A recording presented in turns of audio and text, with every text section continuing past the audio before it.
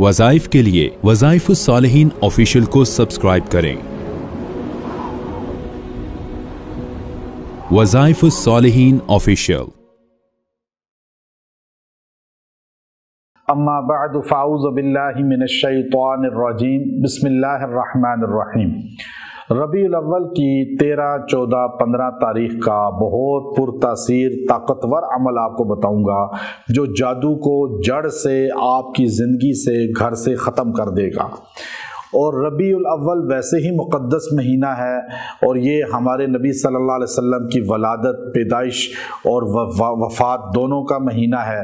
ربی بہار کو کہتے ہیں، یہ بہار ہے۔ اس میں بہاریں آتی ہیں۔ آپ جادو میں جکڑے ہیں، خزاں میں ہیں، بہار لانی ہے۔ اس مہینے کی برکات لے لیں، یہ عمل کر لیں۔ اللہ تعالیٰ اس مہینے کو بڑا فضیلت والا بنایا۔ وہیں ہر اسلامی مہینے کی تیرہ، چودہ، پندرہ ایام بیس ہوتے ہیں۔ یہ چاند کے خاص دن ہوتے ہیں چودوی کا چاند روشن دن ہوتے ہیں، روشن راتیں ہوتی ہیں۔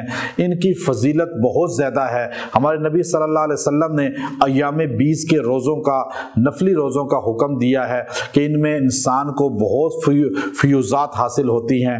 تو ربی الاول کے یہ تین دن بڑے خاص ہیں۔ آپ کوشش کریں کہ ربی الاول کے نو ربی الاول، بارہ ربی الاول اور یہ تین دن کے روزے رکھ لیں۔ یہ نفلی روزے ہیں۔ کوئی لازم نہیں ہے، کہیں سے ثابت نہیں ہے۔ لیکن روزہ اس لیے رکھنا ہے کہ لوگ جو نفی کرتے ہیں ان دنوں کے روزوں کی، ان کو دعوت ملے کہ ہمارے نبی نے پیر کا روزہ رکھا، کہ ہمارے نبی صلی اللہ علیہ وسلم سنت روزہ پیر کو اپنی ولادت کے دن رکھتے تھے اور ایام بیس، تیرہ، چودہ، پندرہ کے روزے رکھتے تھے۔ تو ہم ولادت کے دن روزہ رکھیں تاکہ ہم محب مصطفیٰ صلی اللہ علیہ وسلم ثابت ہوں۔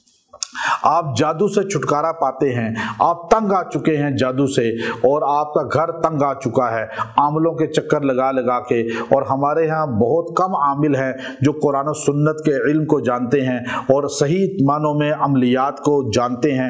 اور اس کو جو ہے، وہ اللہ کی جو ہے قرآن اور دین کی خدمت سمجھ کے کر رہے ہیں، ورنہ زیادہ تر اس میں جھوٹ بولتے ہیں، اور انہیں قرآن و سنت کا پتہ بھی نہیں ہوتا۔ تو اس لیے پہلی بات ذہن نشین کر لیں، ہر جادو کا علاج صرف قرآن سے ہوتا ہے۔ قرآن کے علاوہ جادو کا علاج کسی چیز میں نہیں ہے۔ ایک بات۔ دوسری بات، جادو کا توڑ صرف قرآنی عمل سے ہوگا، جادو سے نہیں ہوگا۔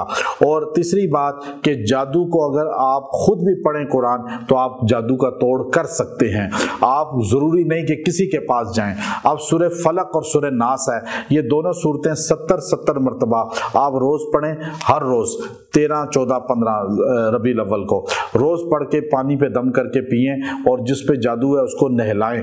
اللہ اس سے جادو کو ختم کر دے گا۔ گھر میں جادو ہے، کاروبار میں جادو ہے، تو آپ دکان پہ شو روم پہ فیکٹری پہ، گھر پہ اس پانی کا چھڑکاؤ کریں۔ اللہ جڑ سے جادو کسی قسم کا بھی ہے، توڑ دے گا۔ یہ عمل آپ بعد میں بھی کر سکتے ہیں ہمیشہ۔ جب بھی آپ پہ جادو کا کوئی مسئلہ ہو، تو آپ اس عمل کو اختیار کر لیں۔ یہ فلق اور ناس ستر ستر بار پڑھے سورہ فلق، سورہ ناس جو ہے، جڑ سے جادو کو توڑ دیتی ہے۔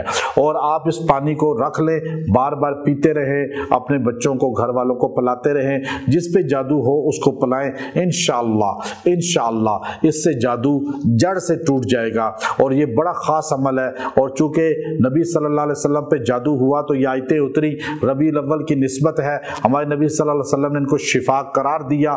قرآن شفا ہے۔ انشاءاللہ اس سے آپ کو فائدہ ملے گا۔ اور آپ کے گھر سے ہر قسم کا جادو ہمیشہ کے لیے ختم ہو جائے گا۔ وہ آخر الحمد للہ رب العالمین۔